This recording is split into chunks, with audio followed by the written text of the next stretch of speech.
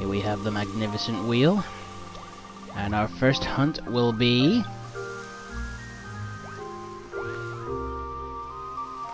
Mienfoo! Mean has a great shiny. Right.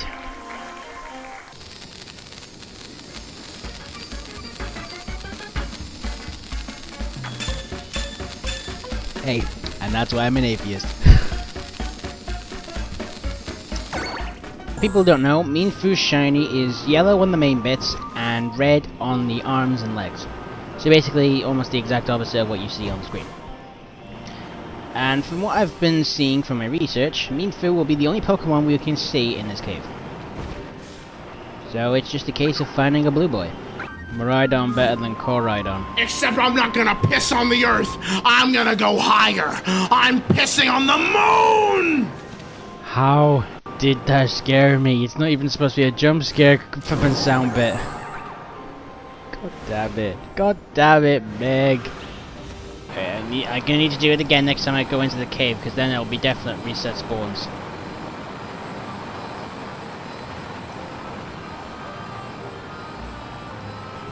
Okay, yeah, that sort of stuff. Ban Bandit from Bluey, that sort of stuff.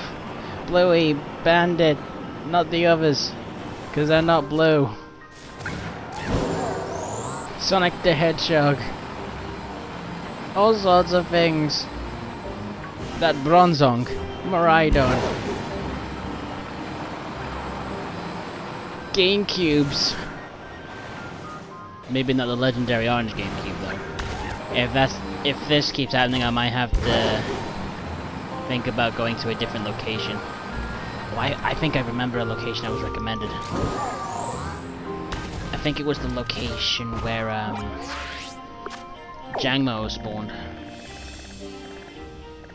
I'll try here. A few minutes later. Personally, I find that Crowley's advice is sound than anything else.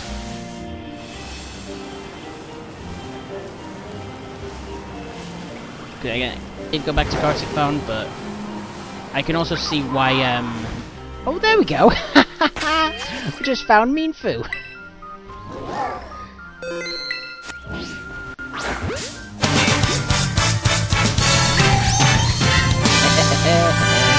it's a Mienfoo, bitches!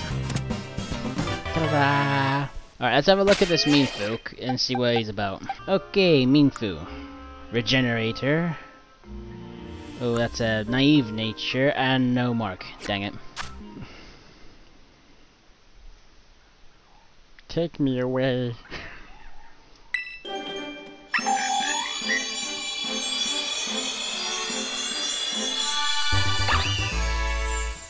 The pink looks pretty good here.